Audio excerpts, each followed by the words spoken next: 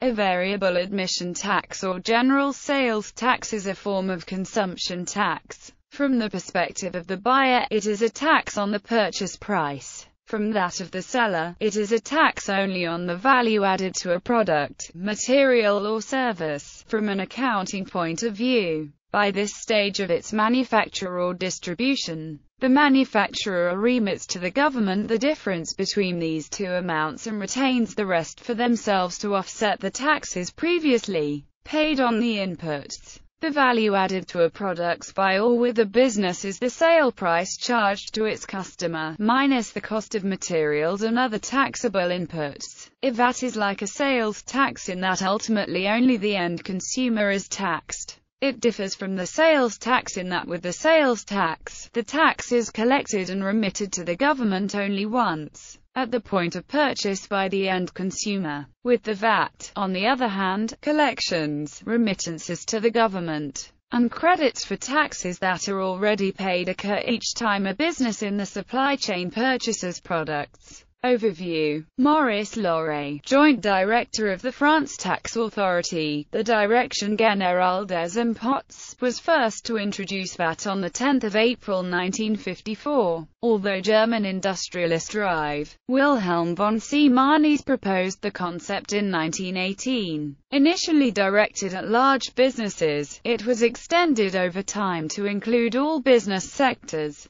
In France, it is the most important source of state finance, accounting for nearly 50% of state revenues. Personal and consumers of products and services cannot recover VAT on purchases, but businesses are able to recover VAT on the products and services that they buy in order to produce further goods or services that will be sold to yet another business in the supply chain or directly to a final consumer. In this way, the total tax levied at each stage in the economic chain of supply is a constant fraction of the value added by a business. Comparison with sales tax Value-added tax avoids the cascade effect of sales tax by taxing only the value added at each stage of production. For this reason, throughout the world, VAT has been gaining favor over traditional sales taxes. In principle, VAT applies to all provisions of goods and services. VAT is assessed and collected on the value of goods or services that have been provided every time there is a transaction. The seller charges VAT to the buyer, and the seller pays this VAT to the government. If, however, the purchaser is not an end user, but the goods or services purchased are costs to its business, the tax it has paid for such purchases can be deducted from the tax it charges to its customers. The government only receives the difference. In other words, it is paid tax on the gross margin of each transaction by each participant in the sales chain. In many developing countries such as India, sales tax, VAT are key revenue sources as high unemployment and low per capita income render other income sources inadequate. However, there is strong opposition to this by many subnational governments as it leads to an overall reduction in the revenue they collect as well as if some autonomy. In theory, sales tax is normally charged on end users. The VAT mechanism means that the end user tax is the same as it would be with a sales tax. The main disadvantage of VAT is the extra accounting required by those in the middle of the supply chain. This is balanced by the simplicity of not requiring a set of rules to determine who is and is not considered an end user. When the VAT system has few, if any, exemptions such as with GST in New Zealand, payment of VAT is even simpler. A general economic idea is that if sales taxes are high enough, people start engaging in widespread tax evading activity. On the other hand, total VAT rates can rise above 10% without widespread evasion because of the novel collection mechanism. However, because of its particular mechanism of collection, VAT becomes quite easily the target of specific frauds like carousel fraud, which can be very expensive in terms of loss of tax incomes for states. Implementation the standard way to implement a value-added tax involves assuming a business owes some fraction on the price of the product minus all taxes previously paid on the good. By the method of collection, VAT can be accounts-based or invoice-based. Under the invoice method of collection, each seller charges VAT rate on his output and passes the buyer a special invoice that indicates the amount of tax charged. Buyers who are subject to VAT on their own sales consider the tax on the purchase invoices as input tax and can deduct the sum from their own VAT liability. The difference between output tax and input tax is paid to the government. Under the accounts-based method, no such specific invoices are used. Instead, the tax is calculated on the value added, measured as a difference between revenues and allowable purchases. Most countries today use the invoice method, the only exception being Japan, which uses the accounts method. By the timing of collection, VAT can be either accrual or cash-based. Cash basis accounting is a very simple form of accounting. When a payment is received for the sale of goods or services, a deposit is made, and the revenue is recorded as of the date of the receipt of funds, no matter when the sale had been made. Checks are written when funds are available to pay bills and the expense is recorded as of the check date, regardless of when the expense had been incurred. The primary focus is on the amount of cash in the bank, and the secondary focus is on making sure all bills are paid. Little effort is made to match revenues to the time period in which they are earned, or to match expenses to the time period in which they are incurred. Accrual basis accounting matches revenues to the time period in which they are earned and matches expenses to the time period in which they are incurred.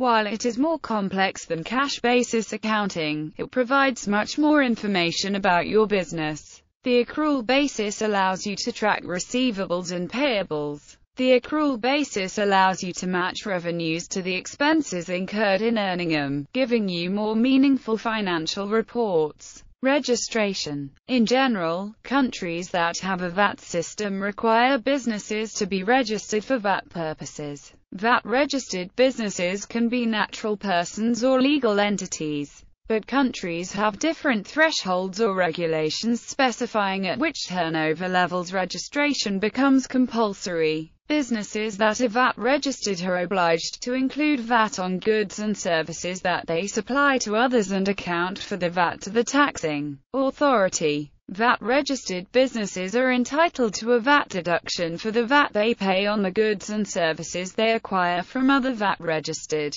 businesses. It has been argued that the introduction of a VAT reduces the cash economy because businesses that wish to buy and sell with other VAT-registered businesses must themselves be VAT-registered. Examples Consider the manufacture and sale of any item, which in this case we will call a widget.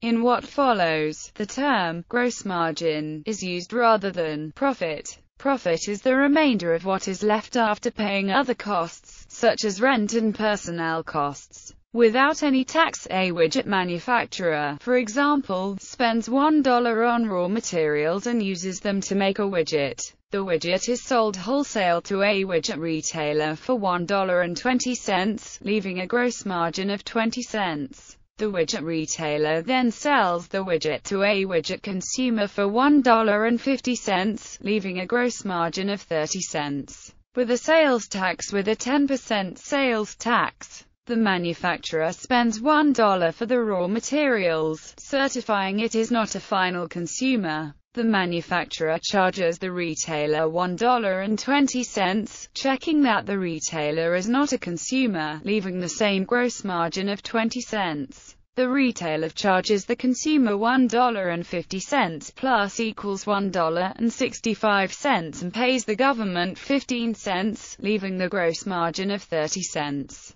So the consumer has paid 10% extra, compared to the no taxation scheme, and the government has collected this amount in taxation. The retailers have not paid any tax directly but the retailer has to do the paperwork in order to correctly pass on to the government the sales tax it has collected. Suppliers and manufacturers only have the administrative burden of supplying correct certifications and checking that their customers are not consumers. A large exception to this state of affairs is online sales. Typically if the online retail firm has no nexus in the state where the merchandise will be delivered, no obligation is imposed upon the retailer to collect sales taxes from out-of-state purchases. Generally, state law requires that the purchaser report such purchases to the state taxing authority and pay the use tax which compensates for the sales tax that is not paid by the retailer. It is fair to say that many citizens are unaware of this obligation and that states make little effort to raise that awareness or provide a reasonably easy way of complying with the obligation. With a value-added tax with a 10% VAT,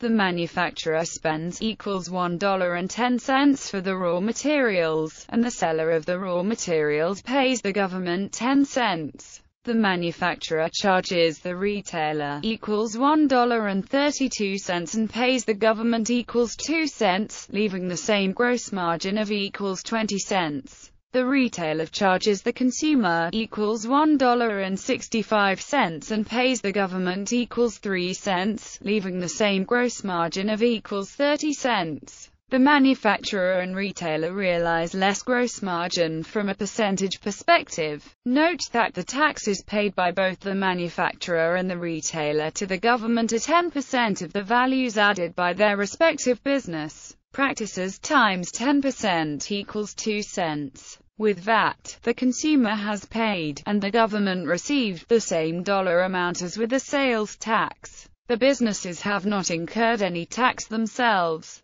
Their obligation is limited to assuming the necessary paperwork in order to pass on to the government the difference between what they collect in VAT and what they spend in VAT. However, they are freed from any obligation to request certifications from purchasers who are not end users and of providing such certifications to their suppliers. On the other hand, they incur increased accounting costs for collecting the tax, which are not reimbursed by the taxing authority. For example, wholesale companies now have to hire staff and accountants to handle the VAT paperwork, which would not be required if they were collecting sales tax instead. If you calculate the added overhead required to collect VAT, Businesses collecting VAT have less profits overall than businesses collecting sales tax. The advantage of the VAT system over the sales tax system is that under sales tax, the seller has no incentive to disbelieve a purchaser who says it is not a final user. That is to say, the payer of the tax has no incentive to collect the tax. Under VAT, all sellers collect tax and pay it to the government.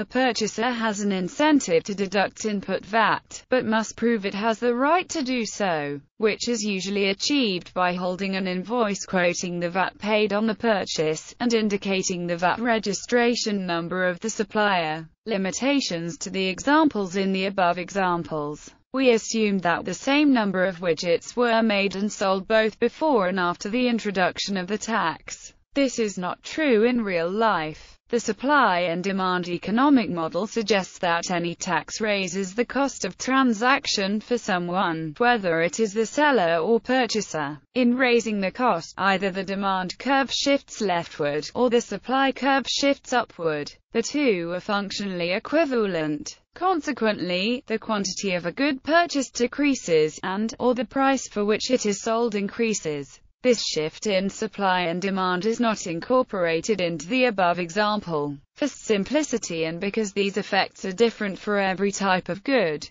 the above example assumes the tax is non-distortionary. Limitations of VAT A VAT, like most taxes, distorts what would have happened without it. Because the price for someone rises, the quantity of goods traded decreases. Correspondingly, some people are worse off by more than the government is made better off by tax income. That is, more is lost due to supply and demand shifts than is gained in tax. This is known as a deadweight loss. If the income lost by the economy is greater than the government's income, the tax is inefficient. It must be noted that a VAT and a non-VAT has the same implications on the microeconomic model. The entire amount of the government's income may not be a deadweight drag. If the tax revenue is used for productive spending or has positive externalities, in other words, governments may do more than simply consume the tax income. While distortions occur, consumption taxes like VAT are often considered superior because they distort incentives to invest save and work less than most other types of taxation. In other words, a VAT discourages consumption rather than production. In the diagram on the right,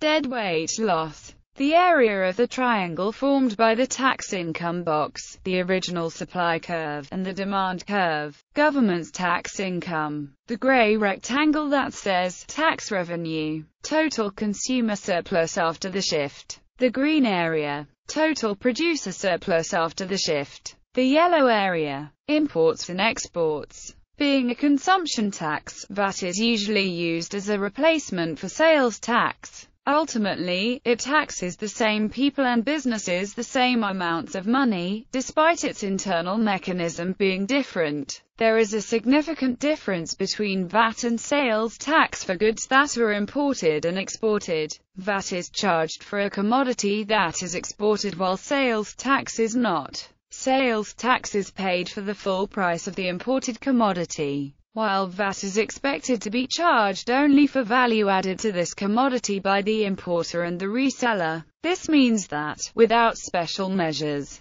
goods will be taxed twice if they are exported from one country that does have VAT to another country that has sales tax instead. Vice versa. Goods that are imported from a VAT-free country into another country with VAT will result in no sales tax and only a fraction of the usual VAT. There are also significant differences in taxation for goods that are being imported, exported between countries with different systems or rates of VAT. Sales tax does not have those problems. It is charged in the same way for both imported and domestic goods, and it is never charged twice. To fix this problem, nearly all countries that use VAT use special rules for imported and exported goods. All imported goods are charged VAT tax for their full price when they are sold for the first time. All exported goods are exempted from any VAT payments. For these reasons VAT on imports and VAT rebates on exports form a common practice approved by the World Trade Organization. Example Consider a Ford car that cost $25,000 to produce in the USA and an Opel car that costs $25,000 to produce in Germany. Both prices are shown with all taxes imposed on manufacturers of these cars, including social taxes, income taxes, etc., but without taxes imposed on consumers, that is, sales tax in USA and VAT in Germany, without a special modification related to export, import. Customer prices will be note that Opel prices appear to be inherently higher than Ford ones. This way, prices are initially equal, but become different after all the additional VAT taxes and rebates described below. Such an approach does not take into account the simple fact that Opel prices in the table above always include VAT while Ford prices never include it. That's exactly why additional adjustments are made in VAT taxation. One may try to object that this simply means that Germany has generally higher taxes but, in fact, this is not the case for consumer taxes. Consider a hypothetical situation where consumer tax remains exactly the same in Germany as in the example above, but now it is collected as 20% sales tax. The amount of tax is clearly different in the USA and Germany, but the skew in taxes between Opel and Ford has gone. Now everything is taxed in same way. Opel is not taxed twice, and Ford is taxed when its cars are imported to Germany. Note that the price of Opel cars in Germany is the same for both examples. Rebating VAT on imports allows the same retail prices and customer taxation without abandoning VAT. Instead, the seller of imported Fords in Germany is charged 20% VAT for the whole price of Fords sold, and the exporter of Opels is rebated $5,000 out of $30,000 he spent to buy each.